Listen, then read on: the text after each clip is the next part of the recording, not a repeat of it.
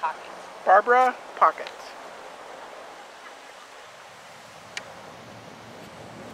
I love him.